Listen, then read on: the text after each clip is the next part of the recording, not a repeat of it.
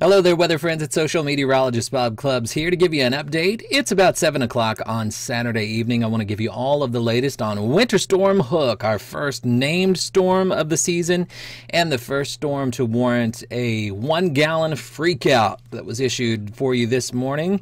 Hopefully, you're making preparations accordingly. I want to give you a look at all of the maps and all of the latest information that I've been looking at to give you an idea of what we're currently expecting with Winter Storm Hook. There'll be another run of the models later that might refine things a little bit, but this is a general idea for you. Somebody's about to put us over 9,400 weather friends, so if you haven't already gotten your friends connected, please do so. I always like to tell you to go to a PC, go to my page, and make sure that you've selected Get Notifications. That will put a notification uh, on your page anytime something new is posted. Also, if you use the Twitters, I'm over there at Weather Clubbs. Mostly what I'm doing over there is retweeting other information.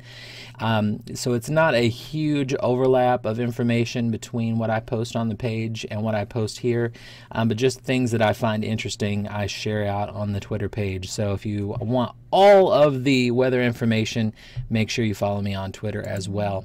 The National Weather Service has uh, gone ahead and issued some winter weather advisories across the southern part of Missouri, uh, with the exception of the Missouri Boot Heel. Although I did read that the National Weather Service in Memphis, which actually covers the Boot Heel, is considering adding.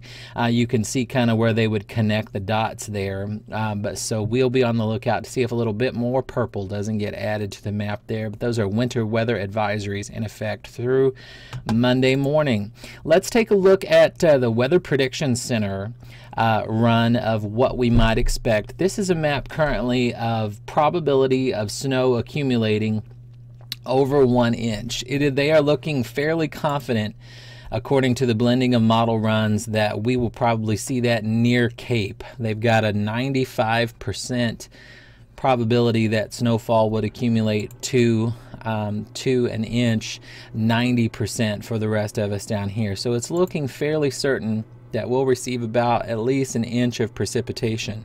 Uh, when I went ahead and bumped us up to the one gallon freakout this morning was uh, when I was seeing some stuff to this effect. Once we get up to an inch, I think that, that a lot of people are doing some freaking out. Let me bump this up to two inches and show you what it does. That keeps us here in Cape and Jackson under a 70 to 80% chance that we would accumulate uh, up to two inches. And then even if you bump it up to four inches, the possibility is still there. It is a light, but they've got us at a 20 to 4 20 to 30 percent chance that snow would accumulate over four inches. Just uh, if you're really hoping for a white Monday, there's only um, a very, very slim chance that we would get over six inches, but um, definitely some chances for some accumulating snowfall to come down with a Winter Storm Hook on Sunday night. As we continue to look at some different model runs, um, we can see how this one might play out. Um, as you can see, this is for tonight's event that's already underway, this uh, light snow and uh, rain event that's uh, sleet and rain that's underway.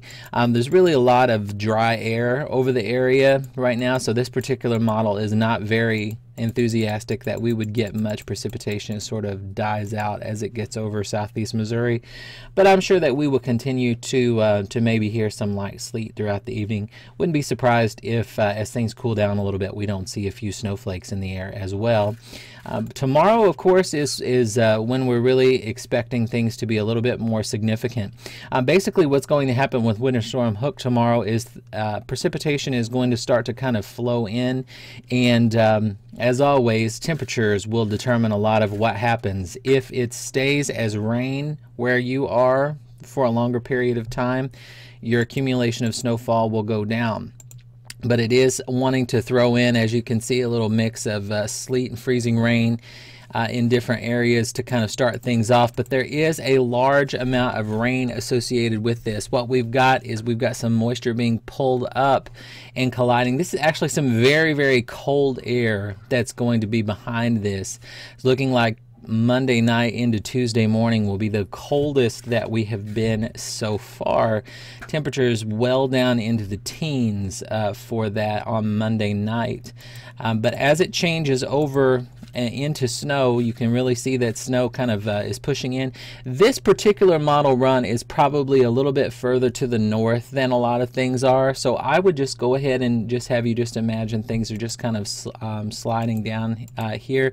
That really does take everything just a little bit farther north than most of the other model runs have, but it really does tell the story as you can see here. Maybe if we just kind of imagine the rest of this kind of filled in with precipitation, I'm not really sure why it's not.